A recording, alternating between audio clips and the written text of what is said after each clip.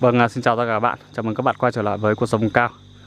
Ở trong cái clip ngày hôm nay tôi tiếp tục giới thiệu và gửi đến các bạn một số những cái hình ảnh Và một số những cái công dụng Và một số những cái bài thuốc Được sử dụng từ cái cây chuối rừng. Đó, hôm nay tôi đang ở trên rừng này các bạn này. Thực ra thì cái cây chuối rừng đây là cái chuối hột rừng nhé các bạn nhé. Đấy, chuối hột rừng.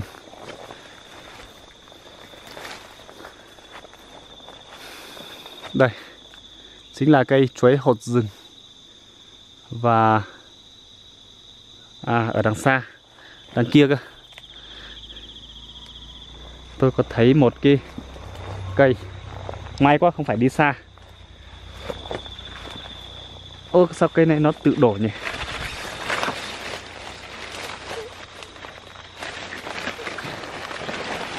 Đây các bạn. Đây các bạn chờ tôi một chút. Tuyệt vời rồi.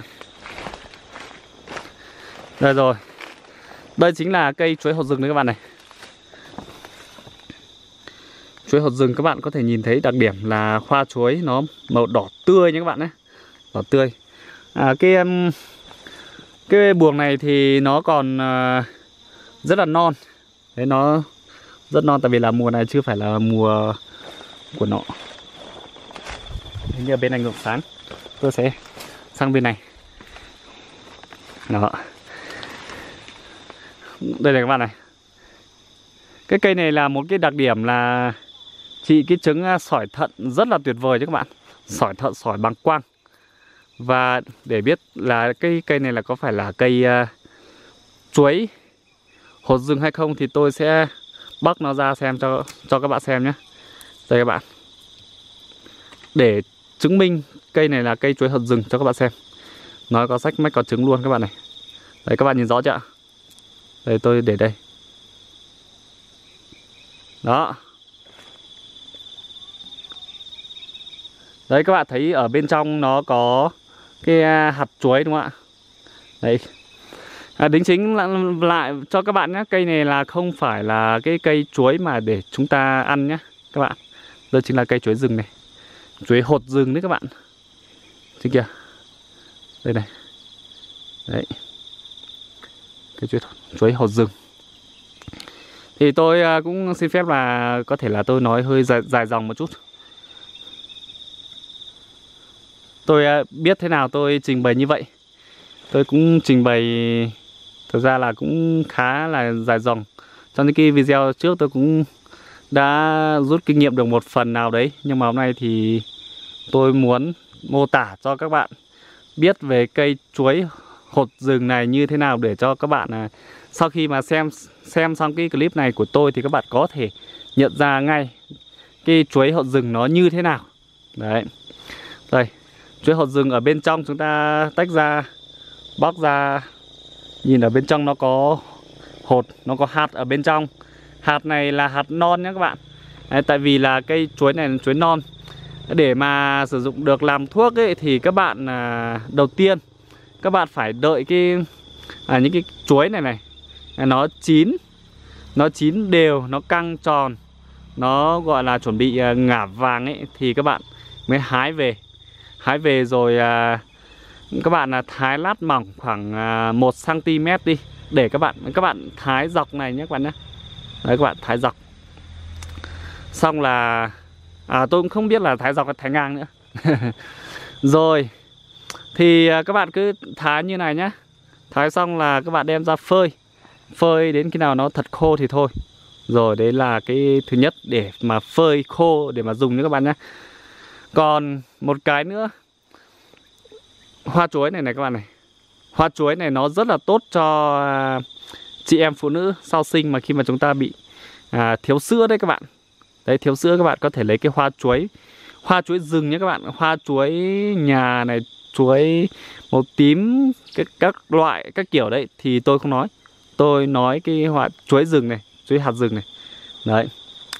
Thì bây giờ tôi sẽ à, đi vào vấn đề chính để cho các bạn là biết cách cách sử dụng của cái cây uh, chuối rừng như nào? Cái cây này thì thực ra là từ gốc này thân lá đến cái củ. À đây gọi là cây chuối hạt chuối và hoa chuối. Chúng ta đều dùng được đều dùng làm thuốc được. Và cái thứ nhất à, cái hoa chuối này này những cái trường hợp mà chị em mà bị à, thiếu sữa đấy các bạn đấy bị thiếu sữa thì các bạn lấy cái uh, hoa chuối này này. Đấy các bạn lấy hoa chuối thái nhỏ. Đó chúng ta luộc hoặc là làm gỏi để ăn nhé các bạn. Thì nó có thể giúp tăng tiết sữa ở phụ nữ mới sinh con. Những cái trường hợp mà nào mà chị em chúng ta à, sinh con xong à, bị thiếu sữa ấy, nó không đủ sữa cho con thì các bạn có thể như thế. Và cái thứ hai nữa nó có thể dùng để trị chứng à, táo bón các bạn. Các bạn lấy cái hoa chuối này luộc hoặc là trộn với cái gỏi thịt gà để ăn. Đấy. Và như thế thì nó có thể tăng cường cái chất xơ mà giúp chống táo bón đấy. Đấy. Nhưng mà các bạn à, nên luộc thật kỹ. Nó để giúp loại bỏ các uh, chất chát. Tại vì là cái này thì các bạn cũng nhiều bạn chúng ta biết rồi. Cái này nó nó khá là chát nha các bạn. Đấy rồi tiếp tục. Nó đến về cái uh, quả này các bạn này. Đây quả này là quan trọng nhất đấy hôm nay tôi muốn uh, đến quả chuối này. Thì những cái trường hợp nào mà bị à, sỏi thận đấy các bạn thì các bạn là chọn những cái chuối như này nhưng mà nó phải thận chín. Sau đó các bạn lấy hạt của nó phơi khô tán nhỏ nấu lấy nước uống các bạn cho khoảng à, 7 thìa nhá 7 thìa 7 thìa hạt chuối mà các bạn đã giá nhỏ đấy các bạn. À, các bạn đã tán nhỏ đấy thì cho khoảng 7 đến 10 thìa cà phê à, vào khoảng à, 2 lít nước đun sôi đến khi nào nó còn khoảng à, 2 phần 3 nước là dùng được. Và khi mà các bạn uống thì phải uống à, đều đặn hàng ngày như uống như kiểu các bạn uống trà nhé các bạn. Đấy, uống trà thì các bạn dùng liên tục trong khoảng thời gian từ à, 2 đến 3 tháng thì à, kiểu gì nó cũng sẽ làm tiêu đi cái hạt sỏi ở trong à, thận của các bạn hay là trong bàng quang của các bạn đấy và tất nhiên thì để mà khỏi hay không thì nó còn tùy thuộc vào cơ địa của mỗi người đúng không nhỉ? Nếu mà những cái trường hợp mà thích hợp thì chúng ta chỉ cần dùng như thế là nó khỏi. Còn những một số cái trường hợp à, cơ địa khác thì có thể là dùng cây này nó cũng không hiệu quả. Đấy là tôi phải nói trước cho bạn. Đấy. Và ngoài ra thì cây à, quả chuối hột rừng này nó còn có thể dùng để mà tiêu sưng giảm đau, trị à, đau nhức chân tay này, đau lưng này, mỏi gối này đau à, thấp khớp này khớp tay khớp chân các loại các bạn có thể dùng cái hạt chuối này các bạn giã đó, giã nát hoặc là các bạn có thể ngâm với rượu rượu thì tầm khoảng à, 40 đến 45 độ. Đấy 40 đến 45 độ. Các bạn ngâm trong vòng thời gian khoảng à, 10 đến 15 ngày. Và thực ra thì cái này mình ngâm càng lâu thì nó càng cho hiệu quả, càng cao. Đó. Và mỗi ngày các bạn uống hai lần. Và một lần thì các bạn chỉ nên uống khoảng à, 15 ml nhé các bạn, vào trước mỗi bữa ăn hoặc là trước khi đi ngủ. Đấy nếu mà thấy khó uống thì các bạn có thể cho thêm ít đường vào. Và tất nhiên thì à, chúng ta uống rượu mà uống nhiều thì kể cả rượu thuốc cũng thế thôi rượu chuối hột rừng cũng thế thôi thì các bạn là uống nhiều thì nó sẽ có hại thôi chứ nó không có lợi cho các bạn nhé đấy đấy là một số cho các bạn lưu ý. Rồi và quả này thì nó còn có thể chữa hắc lao nhé các bạn. Bây giờ hiện tại như này ở trong này nó có rất là nhiều cái đây nhựa này này. Đấy các bạn thái ra các bạn lấy cái nhựa của nó bôi vào. Cái chỗ mà bị hắc lào ấy thì nó cũng khỏi rất là tốt đấy. Rồi tiếp tục. Đây. Tôi qua sang bên này. Chỉ cho các bạn. Đây. Lá này các bạn này. Lá chuối. Lá chuối rừng thì cũng như là chuối nhà thôi, nó có khá là nhiều công dụng luôn nhỉ. Để cho chúng ta gói ghém thức ăn hàng ngày tuy nhiên rằng thì cái lá của cái cây chuối hậu rừng này, hoa chuối màu đỏ này thì nó còn có tác dụng là chữa những cái trường hợp mà nôn ra máu nhé các bạn.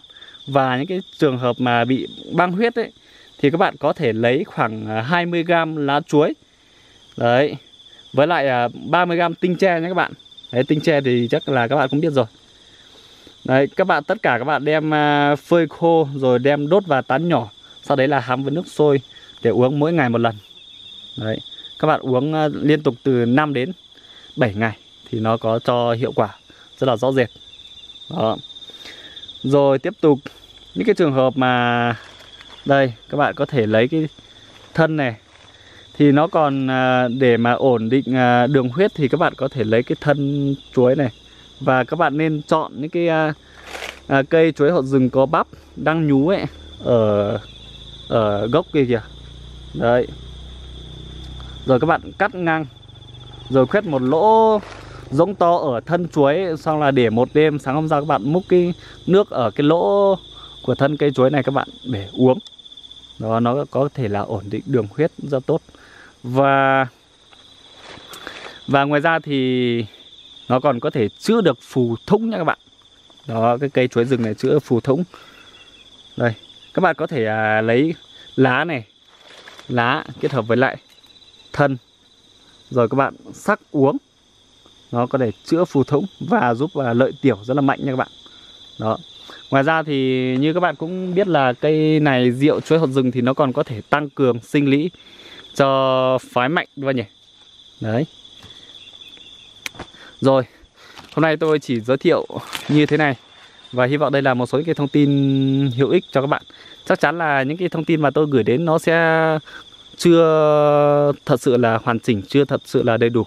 Hy vọng là những cái trường hợp anh chị nào cô bác nào các bạn à, các bác đã sử dụng cái cây chuối rừng này rồi cái cây chuối hạt rừng này làm thuốc rồi thì những cái um, bệnh nào à, những cái um, thông tin mà tôi đưa còn thiếu thì hy vọng là các bạn bổ sung bằng những cái dòng bình luận ở phía dưới để tôi còn hoàn thiện hơn những cái clip tiếp theo.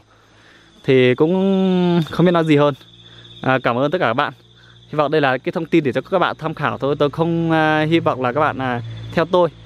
Nhưng mà chắc chắn là một điều rằng là khi các bạn uh, không thể nào mà tìm đến cái phương thuốc khác hợp lý hơn thì các bạn có thể dùng theo cái phương pháp mà tôi vừa chỉ cho các bạn.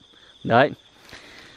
Nếu mà các bạn thấy clip này hay ý nghĩa thì đừng quên uh, nhấn nút uh, like ở phía dưới. Đấy à, các bạn đừng nhấn à, đừng nhấn chỗ tải về nhé các bạn. Tôi hy vọng là các bạn là nhấn à, tải lên à, like cho tôi để tôi có nhiều động lực hơn và chia sẻ clip này cho nhiều người cùng xem. Và đừng quên nhấn nút đăng ký để ủng hộ tôi để tôi có động lực làm video mỗi ngày. Vâng, bây giờ thì tôi cũng xin chào và hẹn gặp lại tất cả các bạn. Bye bye.